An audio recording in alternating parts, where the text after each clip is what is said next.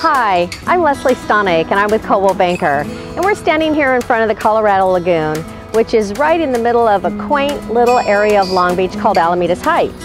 Close by is Belmont Heights, Belmont Shore, Spinnaker Bay, and I can help you with all of your real estate needs. So please give me a call or visit my website at lessismore.com.